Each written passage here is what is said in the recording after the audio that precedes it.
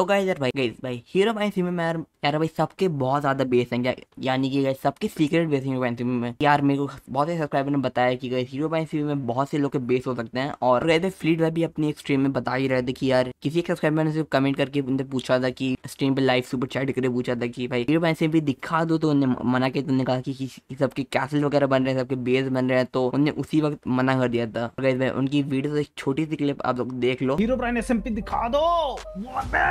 नहीं यार वो अभी नहीं दिखा सकते यार। भाई प्रॉपर ऐसे, समझ रहे हो तुम लोग, अभी बिल्डिंग चल रही है, पूरे प्रॉपर ऐसे खतरनाक कासल वासल बन रहे हो। तुम समझ रहे हो मेरी बात? भाई, बहुत क्रेजी सीन होने वाले हैं एक तारीख को। अभी देखो तुम लोग बस बस भगवान करे कि हो जाए हमारा कंप्लीट एनिमी इसका मे भी हो चुका होगा।